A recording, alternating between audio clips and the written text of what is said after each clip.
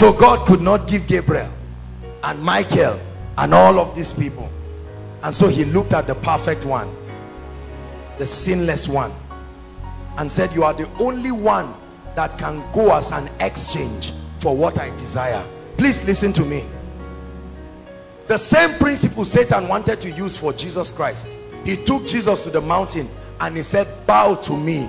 In other words, let me give you wealth and exchange it with your loyalty for me. Are you getting my point? Just bow to me.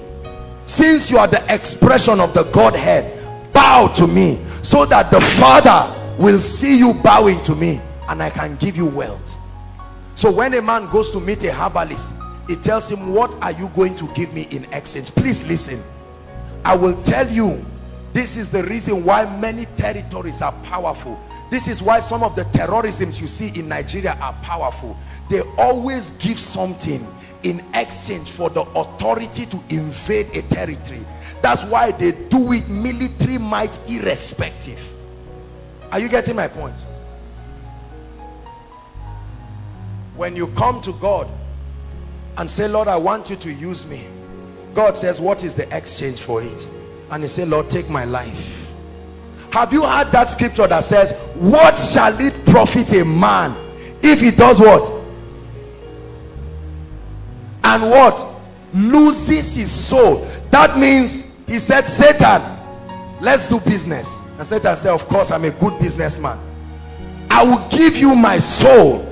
Give me the world so that anywhere I do business whether in Italy whether in Dubai let it work. So that I must be the governor of this state or I must be this. Take my soul. So that I will be the reigning musician and nobody can stop me. And he says all right let's have the deal. And he says take my soul. They have received the mark of the beast. That's the 666 there. It's not something that will be put on their hand. They have given their soul. They have received the mark are you getting my point? So satan comes to you. What do you want to give in exchange? Please listen. Something must be given in exchange if you must walk in true dominion. Everybody knows this. It's not a herbal strategy. It's a spiritual strategy. I'm walking in the anointing. I'm walking in by the grace of god. Because i received this of grace but something went for it. My life my will my ambitions my desires they were laid down. That's why i wrote that song take all of me all of me. You have my everything. That's my deal with god. You have my everything. Are you getting me? So my entire life will give him glory. The day i compromise on my own part of the deal his mercy will show up. But if i walk in rebellion i have broken the deal. That's the reason why a man can give an exchange. He will say i will give you my firstborn. Only give me this political position. When the firstborn is now born the people come and say oh yeah oh, we gave you the power. We gave you the wife. Where is our firstborn? And you say sorry i didn't realize that children are this nice. I've changed my mind. They say you've changed your mind we will see. All of a sudden the child starts getting sick. They must collect their child. Except the power of god intervenes. This is the reason why many families are suffering. People covenanted families in exchange for money. Kings covenanted their territories. Are you hearing what i'm saying? They gave it in exchange for protection they gave it. There are families that gave in exchange their fertility. So no children can happen in that family. There are families that traded boys.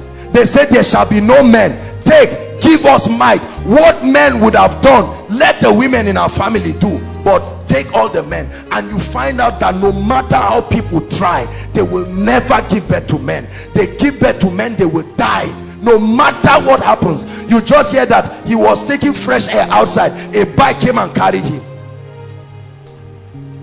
Are you hearing what i'm saying? Exchange. See these laws are not old testament laws. They are spiritual laws. They are still working today here and now. Are you hearing what i'm saying? This is the law that terrorists use before they ever carry an assignment they must take out time. Are you seeing the reason why every time they shed blood people become richer? Think about it. The moment blood is shed somebody makes money. Exchange. Exchange. Exchange. Are you seeing the reason why the sacrifice of Solomon touched the Lord? He offered a thousand burnt offerings. It was an expression of his heart. God could not stop. He came down. Many of us may never walk in dominion because you are not ready to exchange your life for his life. You're not ready to exchange your strength for his strength. But tonight how many people are ready to say Lord take everything if this is the price for your grace and your glory don't let anybody fool you and say there's no price. You go to a herbalist and see if he will just give you power like that. Look at me. There are men who sacrifice their wives for wealth true or false? Some christians right? There are pastors who sacrifice their children for church growth. There are pastors who sacrifice their members for expansion. I've said it again and again nothing just happens the day jesus will come we have a long wall film to watch.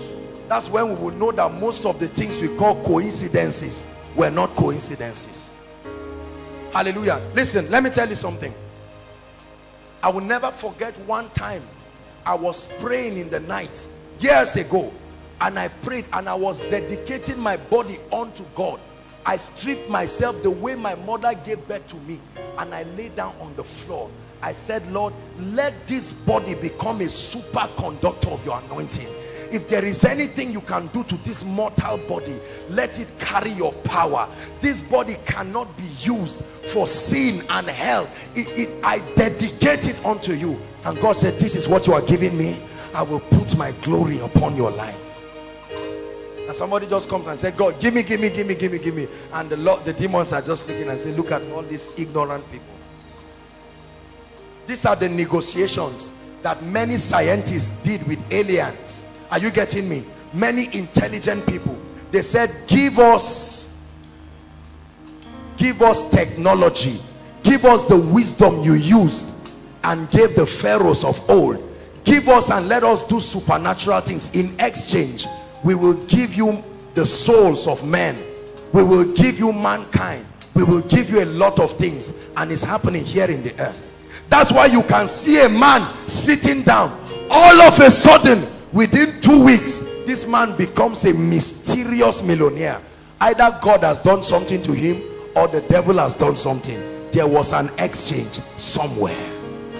A man of god is sitting down and all of a sudden power comes upon his life. He begins to do supernatural things i tell you there is an exchange. He has either gone to the throne of grace to exchange his life and say lord take it. Take my life and use me for your glory. Or he has gone to a herbalist and say take my firstborn. Or every two two years kill 10 members from my church as a sacrifice and let the anointing keep rising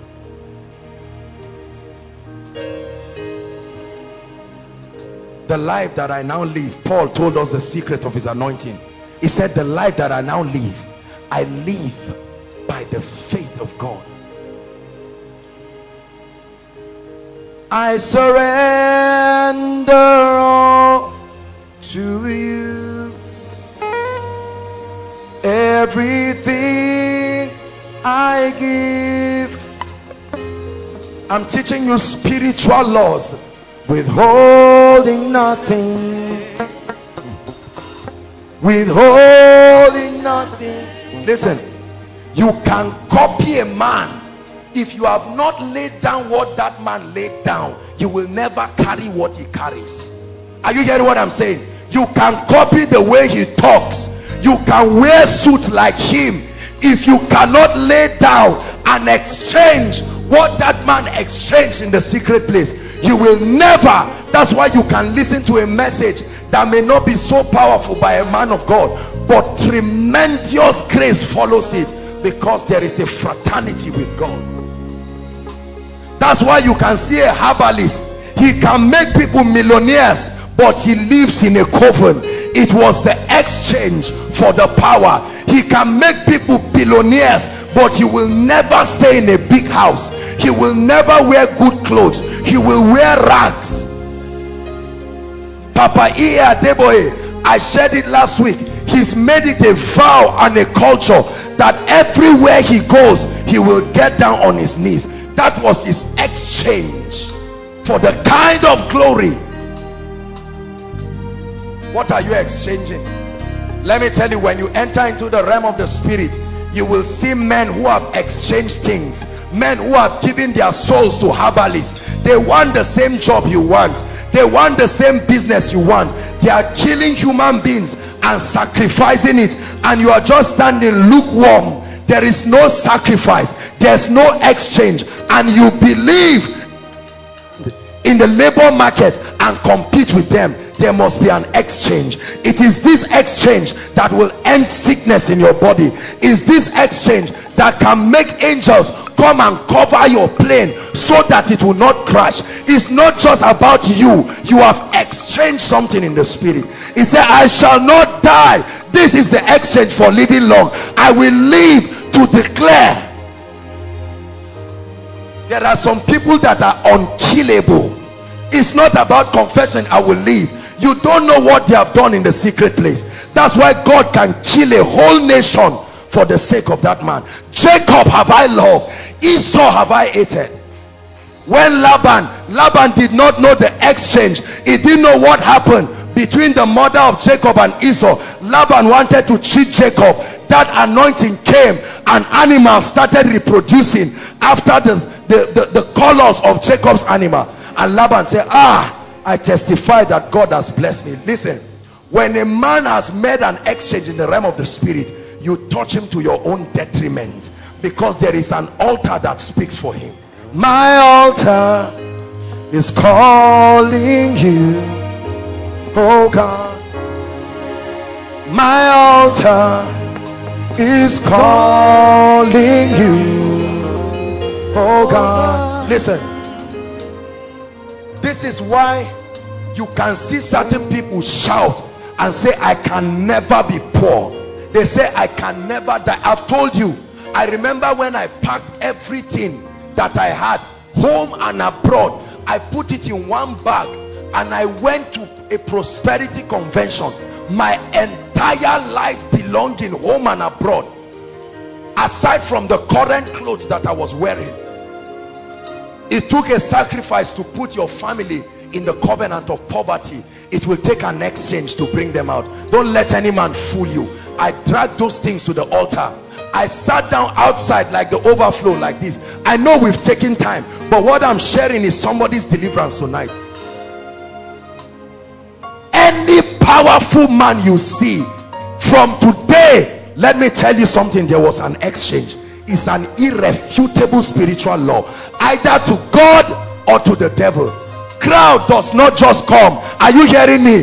Koinonia people are not just coming because they want to come. There is a force. There is the strength of sacrifice unto God.